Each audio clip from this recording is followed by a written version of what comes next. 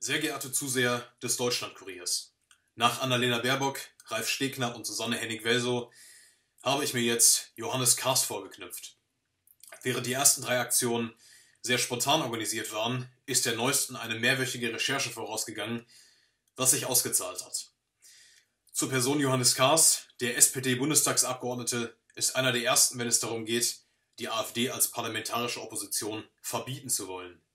Kars selbst ist eine sehr zwielichtige Gestalt, der immer wieder auch eine gewisse Nähe zur Pädophilie nachgesagt wurde. So deckte er Sebastian Edati in dessen Untersuchungsausschuss und bezeichnete ihn trotz der erdrückenden Pädophiliebeweislast weiterhin als feinen Kerl und litt bei Nachfragen plötzlich an Gedächtnisverlust. Zudem folgte Kars auf Twitter Accounts, die mutmaßlich nackte minderjährige Buben mit irrigierten Geschlechtsteil zeigten. Sein sonderbares Verhalten ging sogar so weit, dass Kars laut FAZ-Recherchen 15- bis 16-jährige Jusos aus Hamburg nach Berlin gelotst, mit Alkohol abgefüllt und im Anschluss in seiner Privatwohnung schlafen hat lassen. Offenbar geht es Kars dabei nicht nur um körperliche Begierden, sondern mehr noch um den Aufbau einer kernloyalen Anhängerschaft, die ihm alles aus der Hand frisst. Und wer nicht spurt, wird von Kars mit nächtlichem Telefonterror traktiert. Das ist das System Johannes Kars. Ich habe also begonnen zu recherchieren und bin im Zuge dessen auch an den Kontakt eines Mitglieds von Johannes Kars Studentenverbindung Hamburger Wingolf gekommen. Dieser Kontakt hat längst keine Sympathien mehr für den möchtegern Gangster Kars und war daher ziemlich redefreudig. Im Gespräch berichtete er mir von einem elitären, überparteilichen, informellen, homosexuellen Ring in Hamburg, zu dem auch Johannes Kars gehört.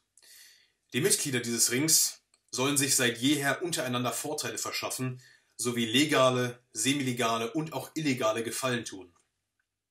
Und wie mächtig diese elitäre Homo-Mafia wirklich ist, bezeugt seine hochkarätige Anhängerschaft, Laut meiner Quelle soll dazu etwa der ehemalige Hamburger Bürgermeister Ole von Beust von der CDU gehören, welcher rein zufällig Johannes Kars auch als Rechtsanwalt zur Seite steht.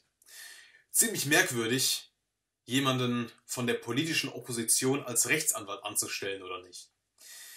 Weiterhin der Vorsitzende der CDU Hamburg, Roland Heinze, und auch ein gewisser Holger Herendel. Beide sind mit Johannes Kars in der gleichen Studentenverbindung. Meine Quelle berichtete mir nun, dass es ein sehr interessantes, offenes Geheimnis im Hamburger Wingolf gäbe, und zwar, dass Holger Herendel Kars illegalerweise sein erstes juristisches Staatsexamen geschrieben haben soll. Da man ein juristisches Staatsexamen anders als zum Beispiel eine Doktorarbeit im Hörsaal und nicht daheim schreibt, bedeutet das, dass Herendel Kars nicht nur geholfen hat, sondern mit dem Ausweis von Kars in den Hörsaal reingegangen sein soll, um ihm das komplette erste Staatsexamen zu schreiben. Wenn sich das bewahrheiten sollte, würde das bedeuten, dass Kars gesamte politische Karriere auf einem handfesten Betrug aufgebaut wäre. Im Übrigen soll Kars dann niemanden mehr gefunden haben, der ihm das zweite Staatsexamen schreibt, weshalb er es bis heute nicht abgelegt hat und damit auch kein ausgebildeter Anwalt ist. So viel zur Vorgeschichte, jetzt zum Scherzanruf. Da ich die private Telefonnummer von Johannes Kars habe, kam mir also die Idee, ihm ein Geständnis zu diesem mutmaßlichen Betrug zu entlocken. Vor zwei Monaten hatte ich bereits bei Cars für einen Telefonscherz angerufen und dabei gemerkt, dass er anders als Ralf Stegner extrem vorsichtig ist, wenn es um den Austausch privater Informationen am Telefon geht, selbst unter angeblich engen Freunden. Er ist eben ein absoluter Politprofi, der genau weiß, wie er die Spuren seiner Taten stets verwischt hält. Daher musste ich einen Weg finden, es in einer anderen Art und Weise aufzuziehen, bei der Cars keinen Verdacht schöpft. Mir war klar, dass er über ein solch sensibles Thema welches seinen politischen Kopf kosten könnte, niemals offen am Telefon kommunizieren würde. Ich musste ihn also dazu bringen, seinen mutmaßlichen Betrug indirekt einzugestehen. Wichtig war mir dabei, dass sein indirektes Eingeständnis keinerlei Interpretationsspielraum offen lässt, der es ihm erlauben würde, sich danach einfach wieder herauszuwinden. Und das ist mir zum Glück auch gelungen.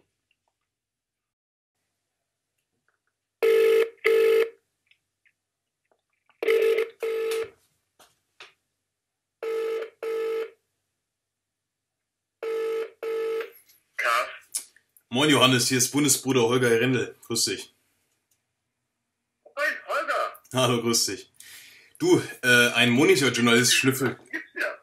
Ja, mir geht's ganz gut. Und dir? blendend. Freut mich. Ja, du, ein Monitorjournalist schnüffelt gerade wegen der Sache mit dem Staatsexamen bei mir rum. Ich sag jetzt am Telefon mal nichts Näheres zu. Ähm, ich habe ihm bereits zurückgeschrieben, dass das natürlich nicht zutrifft, nur damit du Bescheid weißt und darauf entsprechend reagieren kannst, wenn sie dich persönlich konfrontieren sollten, weil damit natürlich auch ja, meine Karriere ein Stück weit zusammenhängt. Ja klar, so, Ja. kein Thema. Ist dieses indirekte Eingeständnis jetzt juristisch hieb- und stichfest genug, um Cars des Betrugs zu überführen?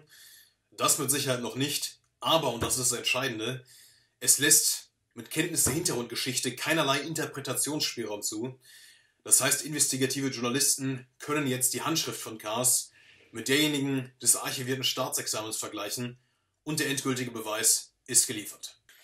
Ich muss Sie leider enttäuschen, hier ist nicht Holger Rende, sondern Clemens Kilic, ein YouTuber. Sie haben gerade zugegeben, Ihr Staatsexamen nicht selbst geschrieben zu haben. Freuen, freuen Sie sich schon auf Ihren politischen Ruhestand, Herr Kaas?